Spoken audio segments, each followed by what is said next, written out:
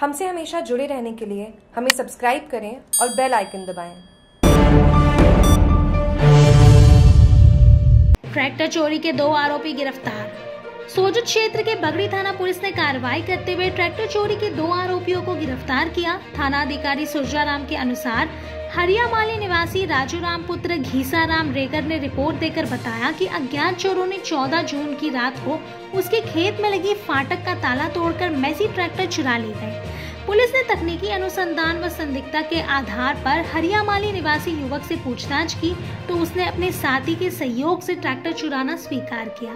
जिस पर कार्रवाई करते हुए पुलिस ने ट्रैक्टर जब्त कर किशोर पुत्र मदन लाल रेगर निवासी हरियामाली, बगड़ी व प्रदीप पुत्र ओम प्रकाश जाट निवासी लाडवा मेड़ता को गिरफ़्तार किया।